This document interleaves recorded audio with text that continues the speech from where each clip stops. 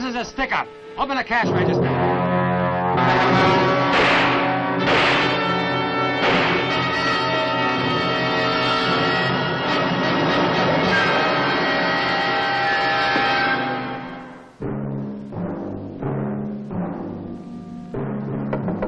That must be the doctor. Are you Frank Rella? Yes, sir. I'm a police officer. Want to talk to you about a shooting in Brooklyn on Tuesday night. Talk to me. Why? You'll find out about that downtown. Will you come along, please? My mother's very sick. If you don't mind, This can't wait, Mr. Rella. listen, the doctor's coming any minute. I'm sorry. Maybe she won't live more than a couple of days. If you want to talk to me, talk to me here. All right.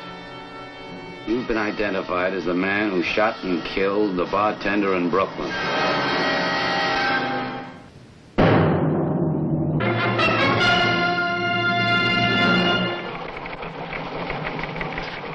Stories that shock a nation, move them, make them laugh, begin here. Like this one.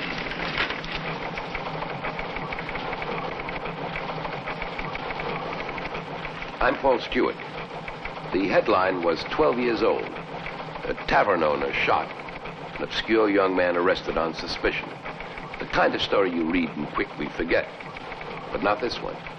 For today, 12 years after it happened, it was one of the biggest stories Edward Mowery, the New York World Telegram, ever worked on. It was a story that involved the greatest city in America and the fate of one obscure young man. They're ready.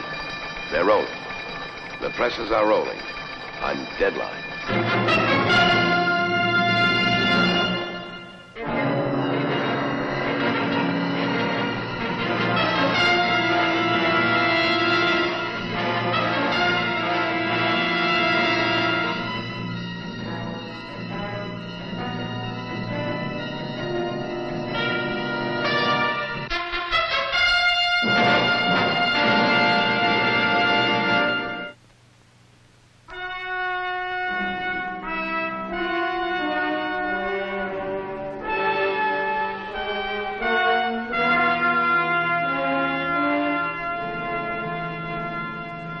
Years' work, huh? That's right, Ed. He's been in jail all this time? Every minute of it. Now, you think he's innocent? Yes. Where did you get the time, Bernie? Huh? Well, for all of this. At law school. Making inspector. I had to find the time, Ed. I arrested that boy. I saw him tried. I saw him sent up for life. I thought he got a rotten deal. I couldn't forget it. Why was it a bad deal? Because the prosecution witness only saw the killer for 35 seconds in a dimly lit room. One witness? One for the prosecution, one for the defense. The third man in the room was the victim. How did it happen, Bernie? Well, the date was August 12, 1946. 2.30 a.m., Thompson's Bar and Grill in Brooklyn. It was closing time. Schneider, the barkeep, was behind the bar. Hovick, the waiter, was piling the chairs. And Thompson, the owner of the grill, was just getting ready to leave. This is a stick-up. Open the register.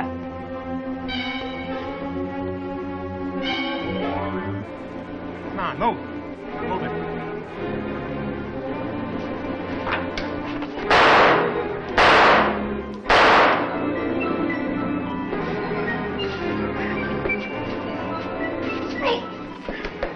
happened that fast.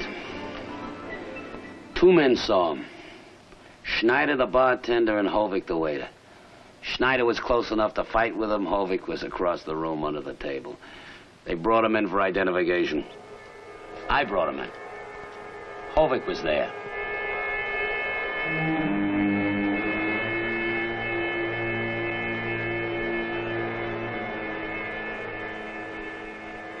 Hovick was sure.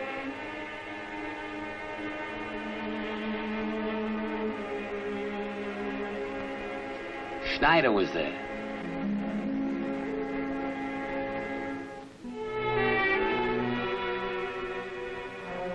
But Schneider was uncertain.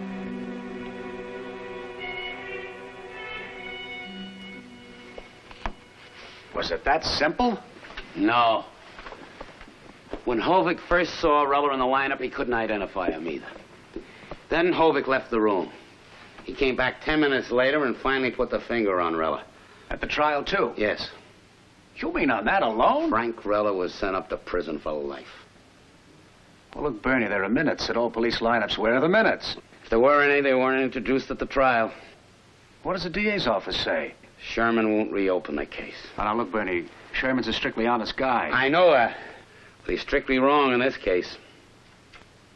Okay. I'll read your stuff and try to check the facts. But now, look, that's all I can promise you. Well, that's all I want you to do, Ed. Thanks. I appreciate it. So Don't long. mention. So long. Oh, would you get me District Attorney Sherman's office, please?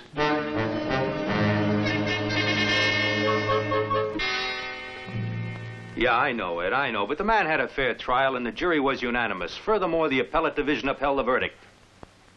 No, no, I've got to oppose a motion for a new trial, particularly in view of the man's previous record. Yeah. I'm sorry.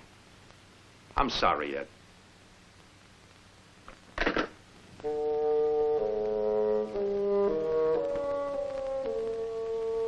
Yes. My son was arrested for larceny when he was 18. He was going with a wild bunch of boys, a gang. They broke into a store just just to show they were big shots. Did your son ever serve time, Mr. Rella? A year. That's how they had his picture at the police. Picture when he was 18. And from that, seven years later, a man picks him out and says he was a murderer. Well, now, how do you know he wasn't? Get out. Get out of my house, please. Mr. Rella, I can't help you if I don't If you don't questions. believe he didn't do it, I didn't say that. I just said I had to ask questions. Well, let me ask a question. There's a boy who gets up and goes to a hospital in the morning, lets himself be cut, gives his mother a bone transplant. Does that boy go out the same night and kill somebody? Tell me that. I don't know that much about people, Mr. Rella. But I'm going to try to find out.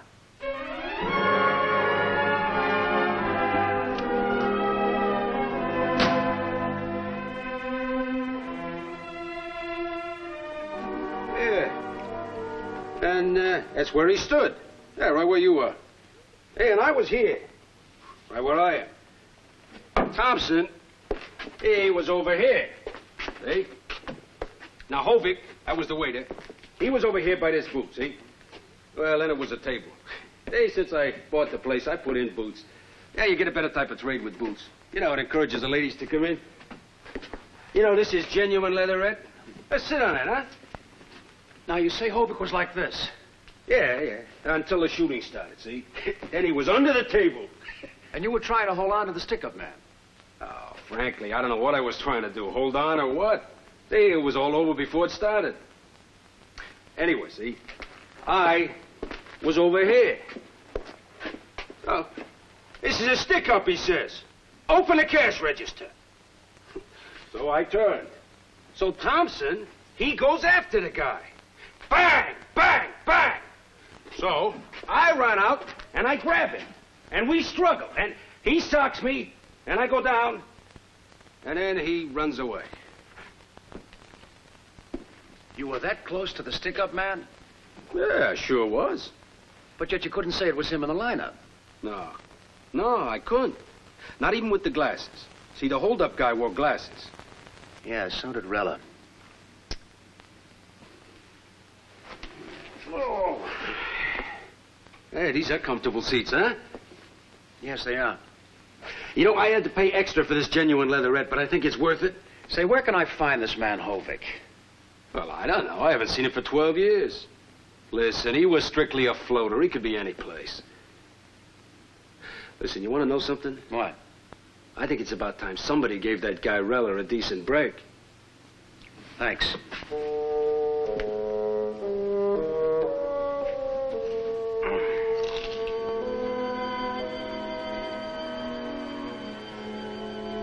And that man from the newspaper was here again, asking questions. Maybe something good will come, Frankie. Today, he told me, he's going to see the foreman of the jury. I pray for you all the time, Frankie. Today, he told me he's going to see the foreman of the jury. Then we took a poll. At the end of the first ballot, it was seven to five for acquittal. Fifteen hours later, we sentenced him to life in prison. Have you thought at all about the case since the trial? When you phoned, I got this out of my file. I've written to six of the jurors almost every year since the day we sent Rella up. We've even formed a committee. Was it a fair trial? I don't know. I'm not a lawyer. I sell securities. What is a fair trial? We thought we were doing what was best. But there was a lot of excitement over other killings at the time. We read so much in the newspapers. You were allowed to have newspapers? Well, why not? Well, it's not usually allowed in a capital case. Well, we read about this wave of killings, and I don't know. Maybe we got all worked up and just wanted to punish somebody. Now, if the trial were held again, I'd never vote guilty. Thanks, Mr. Harris. Oh, uh, can I keep these for a while? I'll return it. Of course. I may use your name in a story. Go right ahead. I'll do anything I can to help. Thanks.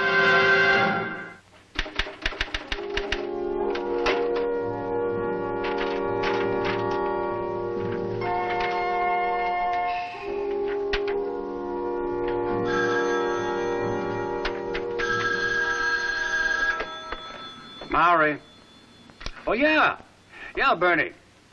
Yes, I called you. Look, we're using a piece on Rella tomorrow. I just thought you'd like to know. Front page. Where do you think we'd use a story like this? Now, now, now, look. Don't get too worked up. It's only a story. Only the first step. Right.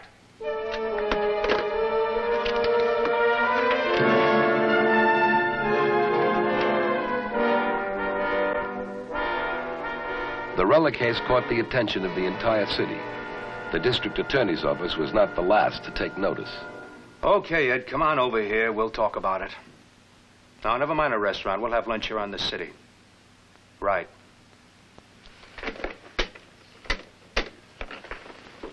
Miss Hammond, will you please come in? I want to order lunch. Thank you.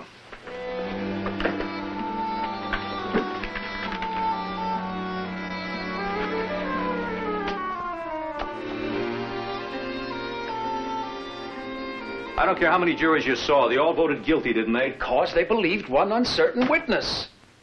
Oh, come on, Ed. What was uncertain about him? He put the finger on Rella. He said, that's the guy. At the trial, yes, not at the police lineup. At first, he couldn't identify Rella. Oh, you're telling me something new? I was assistant prosecutor at that trial. I questioned Hovick. Here. Page 48 of the official transcript. Here. Question to Hovick. You could not identify Rella? Answer. That is right. Question. Then what did you do? Answer. I said I wanted to see his profile. Question. But you didn't see it then. Instead, you left the room for a short period. Answer. That is correct. Well, now, you call that a reliable witness? He was so confused he left the room. Ed, what do you want? I want to know what really happened at that lineup. Where are the minutes? There were none. There must have been. There Must be someplace, Bill. He was convicted by a lineup, not a jury. You know, if that boy didn't have a record... Come on, Ed, let's eat lunch, huh? We're wasting the city's money.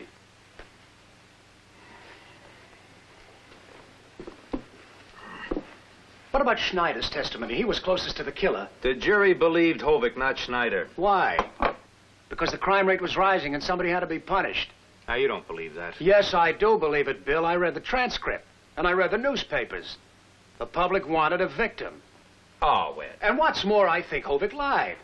I think it was the only chance in his life to make a grandstand play, and he made it.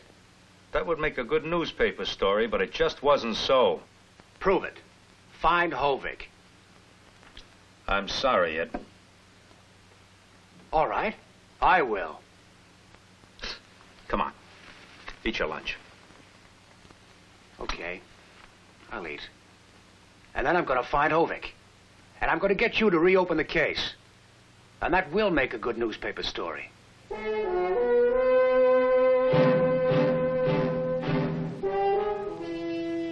Washington, the Secretary of State announced the resumption of negotiations for a top-level meeting.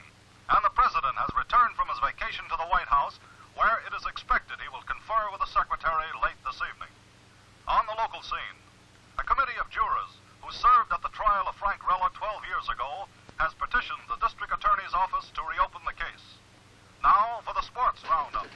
Did you hear it, Sammy? The first of Did you hear what it said on the radio? and won the second game four to We found Hovick, He's working in a diner in San Antonio. I just talked to the chief of police. They'll keep an eye on him until we need him. Good. Now we tackle Sherman. All I want is the truth. Is that clear?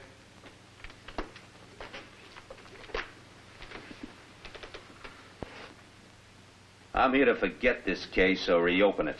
Yes, sir. Would you care for a smoke, Frank? No, thank you, sir. Did you ever own a gun? No, sir, I didn't.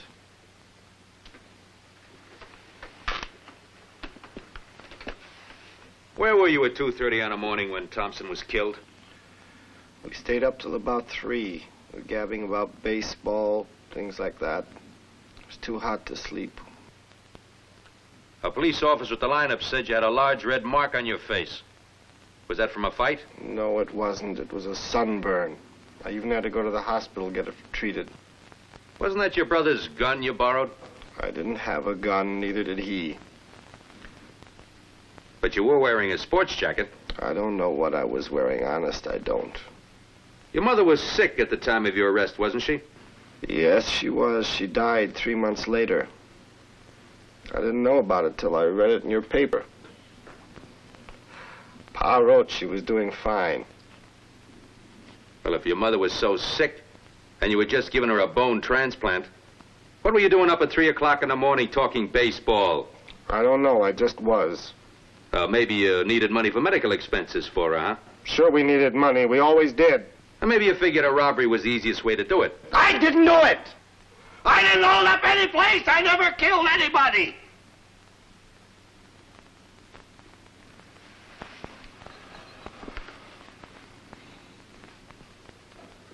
Frank, will you take a lie detector test? Yes, sir, I will. And if you come through that, will you gamble with the electric chair? What? If I reopen this case, you may have to stand trial again. If you're convicted this time, it won't be life imprisonment. It'll be the death penalty. You realize that? Yes, sir. All right. We'll give you a couple of days to think it over. There's nothing to think over, Mr. Sherman. I didn't do the killing. I'll go to the chair if nobody believes me. Guard.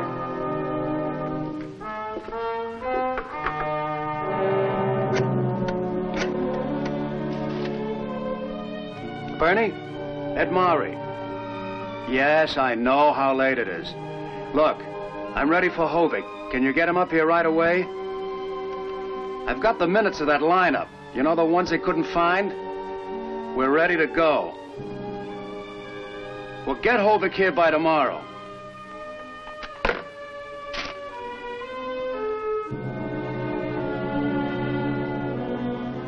Then, Mr. Hovick, you said you wanted to see the man's profile. Uh, that's right, sir. But you didn't look at his profile just then. You left the room for about ten minutes. Uh, yes, sir, I did. Well, that agrees with the trial testimony, Ed. All right, now supposing that wasn't what happened. Supposing he did see the man's profile before he left the room. But I didn't. If he did, he would have lied on the stand. I tell he you- would have lied. Now, if the principal witness lied, the state would have no case. No, it would not. All right.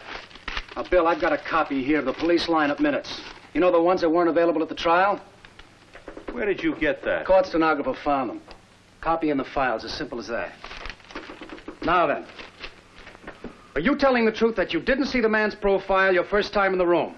Sure I was. Okay. Let's take a look at the minutes. Quote, Detective Johnson, speaking to the witness Hovick. Walk right over there and look at these men. Go ahead down the line. Hovick does so. Detective Johnson, All you men in the lineup, the three of you, turn around. They do so. Detective Johnson, can you point out the man? Hovick. No, sir, I can't. Hovick is then asked to leave the room. Proceedings adjourned for ten minutes. Close quote.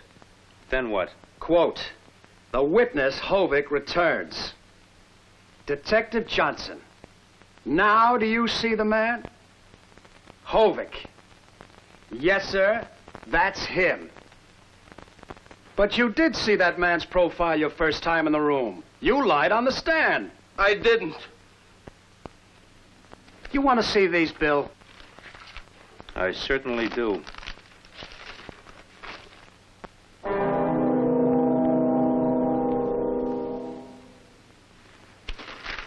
You wait in the other room, please?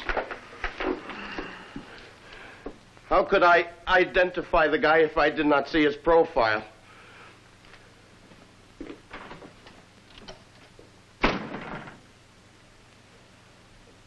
You were right. It was a grandstand play. Wanted to be an important witness. I'll call Judge Cummings and have him set up a hearing.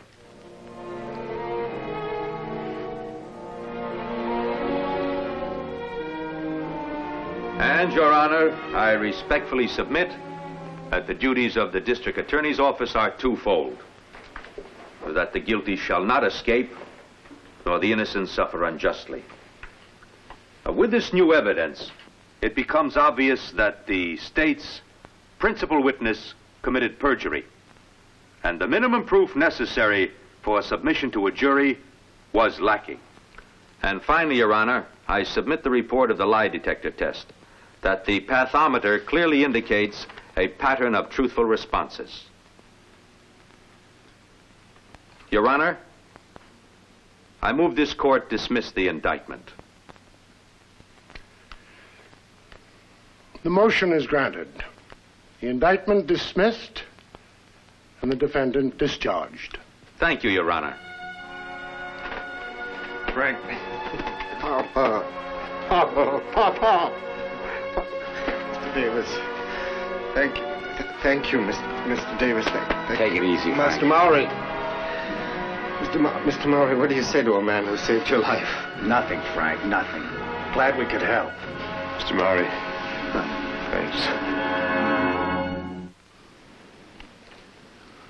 Today, Frank Rella is a free man. The witness, Hovick, who testified against him, was tried for perjury. Here is the last story that Edward Maury wrote. It took a long time to write. It took him a good year. But for Frank Rella, it was 12 years. I think what Frank Rella said the day he came out of the detention pen is kind of important. I'd like to read it to you. It's funny how a guy appreciates the little things after being away so long. When I got off the train at Grand Central from Dannemora three weeks ago, and the officer steered me into the street, I looked up at the glorious sky full of stars and thanked God for making a dream come true. You see, I hadn't seen the sky at night since I went away 12 years ago. When I was moved from one prison to another, Sing Sing to Attica to Dannemora, it was always during the daytime. At Dannemora, lifers are locked up at 5.30 p.m. after mess. Isn't the night sky some sight? This meets this story's deadline.